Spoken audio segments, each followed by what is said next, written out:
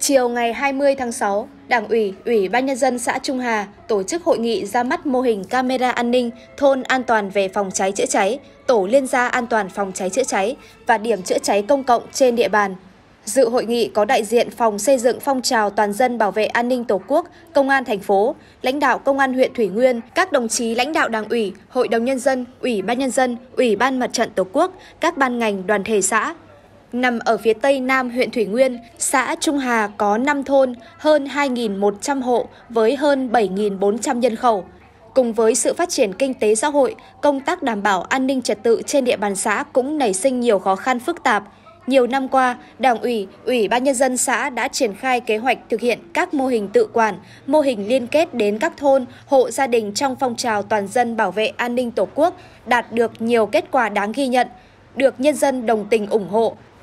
để nâng cao chất lượng, hiệu quả và nhân rộng các mô hình tự quản về an ninh trật tự, nâng cao hiệu quả công tác phòng ngừa, đấu tranh với tội phạm và vi phạm pháp luật, hỗ trợ công tác điều tra, giải quyết các vụ việc về an ninh trật tự, trật tự an toàn giao thông và tuyên truyền nâng cao ý thức tự giác chấp hành pháp luật của nhân dân trong phòng chống tội phạm và bảo đảm an toàn phòng cháy chữa cháy nói riêng, lực lượng công an xã Trung Hà đã tham mưu cho Đảng ủy, Ủy ban nhân dân xã triển khai xây dựng mô hình camera an ninh, thôn an toàn về phòng cháy chữa cháy, tổ liên gia an toàn phòng cháy chữa cháy và điểm chữa cháy công cộng trên địa bàn.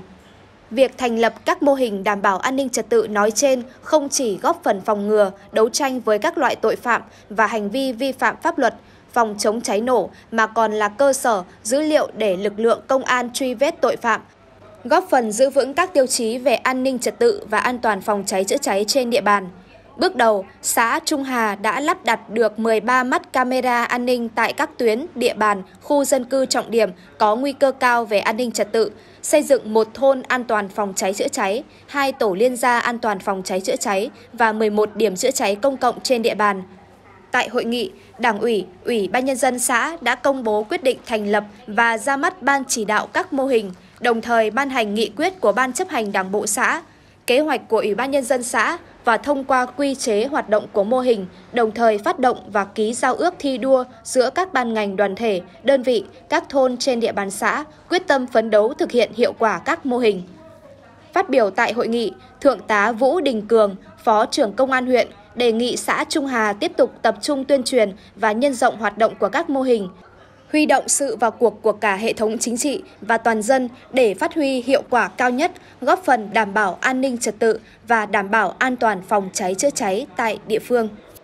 Cũng tại hội nghị, cán bộ đội cảnh sát phòng cháy chữa cháy, cứu nạn cứu hộ công an huyện Thủy Nguyên đã truyền đạt những kiến thức cơ bản và các văn bản pháp luật về phòng cháy chữa cháy cũng như hướng dẫn các biện pháp, kiến thức, kỹ năng về phòng cháy chữa cháy thông qua buổi tuyên truyền nhằm nâng cao ý thức, kiến thức đến các gia đình và cộng đồng, góp phần đẩy mạnh phong trào toàn dân tham gia phòng cháy chữa cháy, hạn chế đến mức thấp nhất nguy cơ xảy ra cháy, nổ.